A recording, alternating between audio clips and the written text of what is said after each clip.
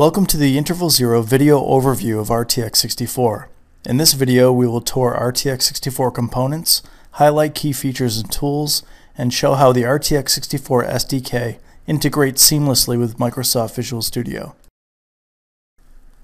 Interval Zero's RTX 64 transforms Windows into a real-time operating system. It can scale from 1 to 63 cores for dedicated real-time processing. RTX 64 is a key component of the Interval Zero RTOS platform that also includes x86 and x64 multi-core multiprocessors and the Windows operating system to outperform real-time hardware such as DSPs and MCUs and reduce the development costs for systems that require determinism or hard real-time. The RTX 64 runtime contains several key features and tools which are available from the Start menu following installation. RTX 64 components must be activated with a valid license before they can be used. Use the RTX 64 activation and configuration utility, which appears immediately after program installation, for initial RTX 64 product activation and configuration, to activate and lock your product to a specific machine or to an interval zero provided dongle.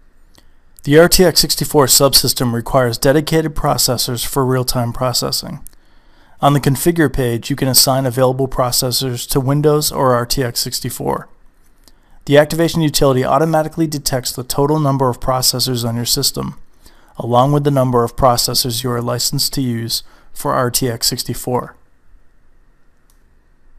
The RTX 64 control panel provides a number of settings that let you determine how the subsystem, RTSS applications, and RT TCP/IP stack, if purchased, behave. It also allows you to view information specific to your product version, access product documentation, and launch the Analyzer utility. Note that some settings in the control panel require Windows Administrator privileges. Content on the home page is organized in two distinct columns. On the left side are options for configuring different system behaviors, while the panel on the right displays product information as well as licensing information for the components you have purchased. If you have a license for the installed component, it appears in black. If it is not licensed, it appears in gray. A dongle icon indicates that the component is licensed to an interval zero provided dongle. If you hover over the dongle image, you can view the dongle serial number. You can start and stop the RTSS subsystem and RT TCP/IP stack, if purchased, directly from the home page. The current status of the subsystem is displayed in the Start-Stop box. The RTX 64 control panel provides several options for configuring the RTSS subsystem. You can change internal system behavior, set memory allocation behavior, configure the RTSS watchdog timer, and choose a method for handling exceptions. The control panel also provides several options for configuring the RT TCP/IP stack, which is a separate purchasable component. You can configure stack behavior, boost performance, and manage interfaces and filters. Note that these options will not be available if the RT TCP/IP component is not activated.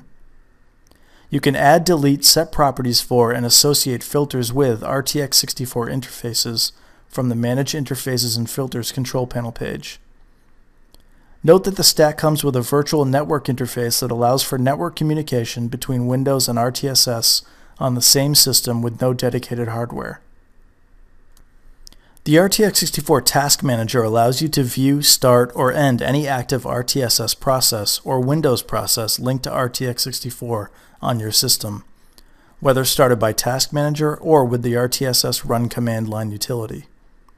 Windows processes linked to RTX 64 are unmanaged processes that make calls to the real-time interface RTAPI, or managed processes that use the interval0.rtx64 interface to communicate with RTSS processes. To start a process, you can either choose a recently run process from the Open dropdown or click the Browse button and navigate to the RTSS file or exe file you want to run. When you run a real-time application, RTX64 Server appears. It displays and logs print messages from all running RTX64 applications and RTDLLs.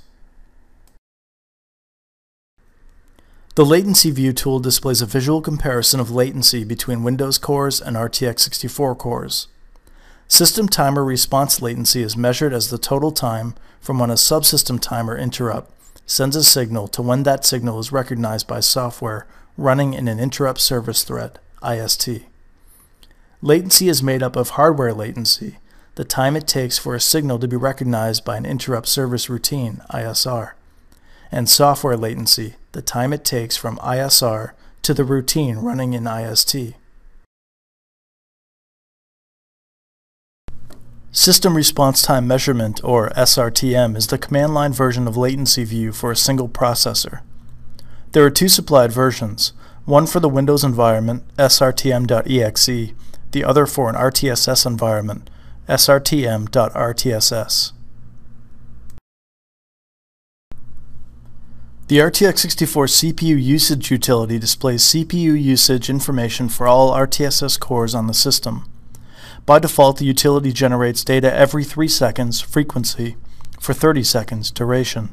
The frequency and duration values are configurable. You can run CPU usage from the Start menu or from RTSS Run. Note that running the RTX64 CPU usage utility may cause latencies since it requires the collection of internal information from the RTSS scheduler. The RTX64 Objects utility displays information about RTSS processes and their associated objects, such as events, semaphores, and loaded RTDLLs. You can run RTX64 objects through a command prompt from this location.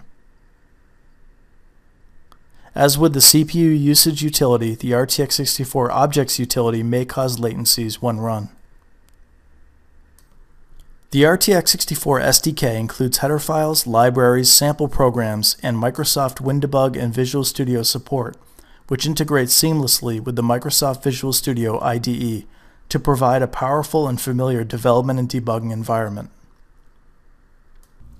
The RTX64 SDK provides two templates in the Templates Visual C++ branch of the new project window in the supported versions of Microsoft Visual Studio.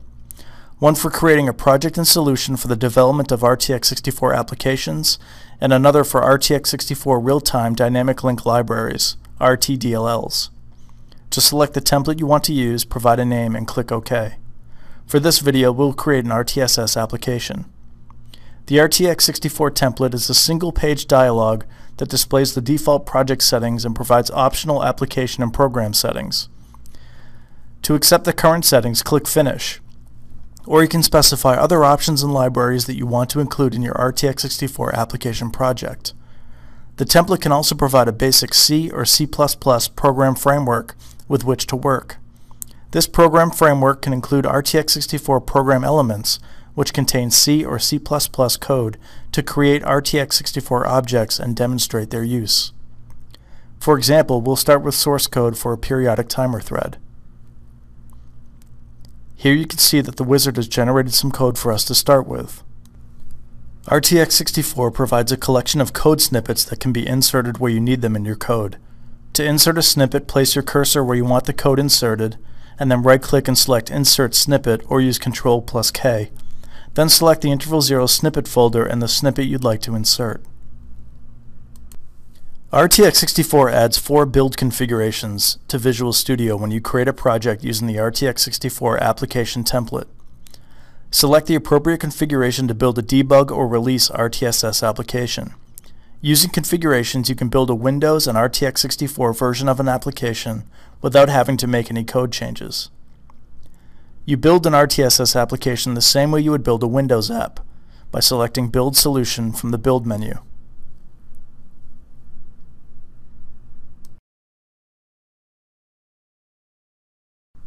You can also debug an RTSS process or RTDLL in Visual Studio. When you create an RTSS application with the RTX64 application template, new interval zero real-time debugger options are added to Visual Studio. The real-time debugger is automatically selected when the RTSS debug configuration of the project is chosen. Here we'll add a breakpoint to our code and press F5 to start debugging.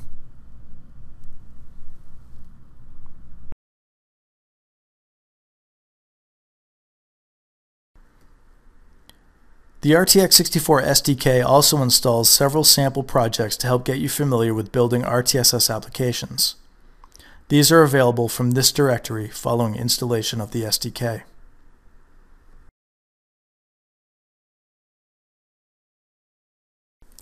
The RTX64 runtime includes a monitor utility which allows you to trace the behavior of your real-time applications by recording significant events that occurred during execution of those applications. The events are written to disk where they are grouped into sessions. You can then use the Tracealyzer tool, which is included with the RTX 64 SDK, to view and analyze monitoring session data output by the monitor utility.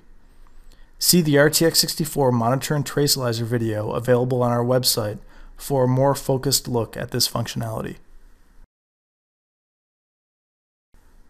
This concludes our overview of RTX 64. For more information, see the product documentation installed with the RTX 64 product and available online at www.intervalzero.com. Thanks for watching.